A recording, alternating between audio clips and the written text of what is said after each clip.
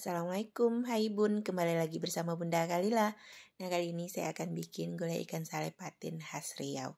Oke simak videonya sampai selesai dan jangan lupa berikan like, komen, dan subscribe. Terima kasih. Nah ini dia bahan-bahan yang kita perlukan. Selengkapnya nanti bisa di screenshot aja ya mom. Kemudian untuk cara pembuatannya Pertama-tama kita haluskan dulu cabai, bawang, jahe, dan kunyit sini saya menggunakan blender. Kemudian tambahkan sedikit garam. Lalu ini kita haluskan sampai lumat seperti ini. Kemudian kita masukkan cabai yang sudah kita giling tadi ke dalam wajan. Tambahkan santan sedang. Jadi di sini gulanya tidak ditumis ya mom bumbunya langsung aja seperti ini. Dan kita tambahkan satu helai daun kunyit dan satu batang serai. Kemudian kita aduk rata Masak sampai mendidih. Nah, setelah kuah gulanya sudah mulai mendidih seperti ini, tambahkan kacang panjang dan tambahkan juga terong bulatnya.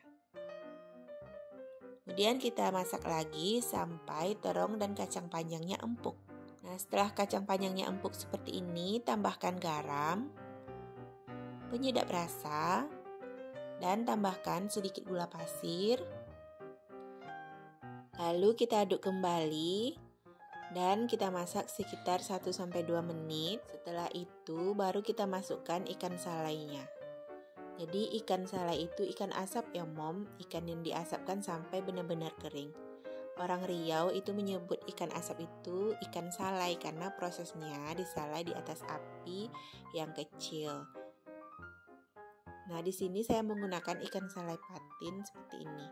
Kemudian tambahkan juga satu satu buah asam kandis dan ini kita masak sampai ikan salainya tuh lembut dan benar-benar matang. Setelah ikan salainya lembut, kemudian kita koreksi rasa dan setelah itu bisa kita matikan kompor. Oke mam, itu tadi cara membuat gulai ikan salai patin ala Bunda Kalila. Terima kasih sudah menonton. See you in next video. Assalamualaikum warahmatullahi wabarakatuh.